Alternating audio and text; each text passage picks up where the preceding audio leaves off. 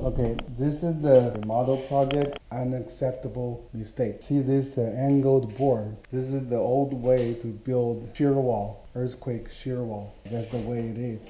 It's supposed to be connect with a structural solid to, in order to be able to shear when earthquake happen. Um, But this is a, a weight bearing wall, right? not weight bearing, it's the shear for earthquake. Earthquake shaking is On the side. horizontal shaking. Prevent the wall Okay. go like this. So if the wall go like this, so this is the wall to prevent that. So this wall, in structural way, is supposed to be connected with the roof member and the structural member. On the top, you see the inside. This is the rafter. That's the roof roof structural member. This wall actually in between this rafter and this rafter. Once it's in between, this wall try to connect with the roof structure, you have to use blocking. Oh, yeah. So Yeah. thi- this is a, a new one you just put Yeah, in. we just put in ah, Okay. some new one. They this didn't is have the original way. Oh, original way. They totally have no blocking at all. Oh, Which means this wall just connect with the sheetrock. There's nothing connect Oh, with the roof member. Okay. Yeah, we put the block and we're gonna have a metal clip, clip the top plate to the block. So the block nails to the rafter, force can transfer to the roof member. And on the bottom, with the other issue, from this old hole, we find out these are double joist here the floor joist and it's double. The reason to double because try to carry this uh, shear. Actually, before we open this two piece of plywood, try to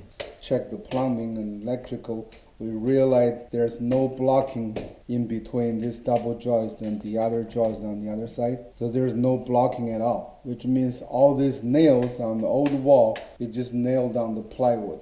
This is horrible. Yeah, this is Really horrible. The, the, the, that's way we call the tract home builder. That's the way they build most of it. So, but that was uh, 30 years ago. Yeah, but 30 years ago, yeah, if it's 20 years, they can get a suit and rebuild this house from this. So how do you plan to fix? Uh, the floor not very important, but we have to remove this wall and put it back into the structure.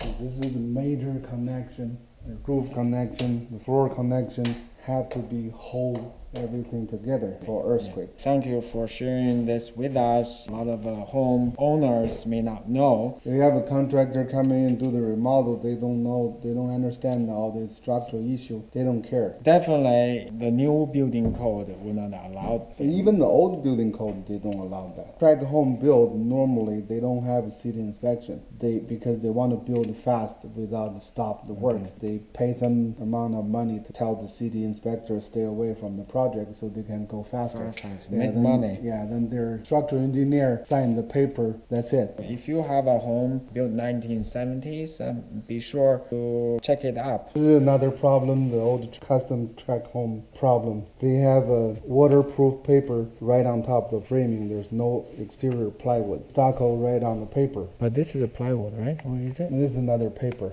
a paper? Yeah. This paper broken, that means no waterproofing. Problem is all the exterior wall consider most of the area as a shear wall too. Shear wall. If there's no plywood means no shear. No structure. No structural shear. Not good enough to hold the earthquake. Earthquake. So yeah. when we're opening all the drywall, we So- put all the plywood. Right. So this is the wall. correct way to do it. You have uh, all the beautiful plywood. Spend a lot of labor and materials just try to reinforce all the earthquake shear wall. Same thing, there's a big wall right in the middle of the house. uh-huh. There's a major shear and the load transfer. There's no shear wall at all. This That's is it. a horrible. Yeah.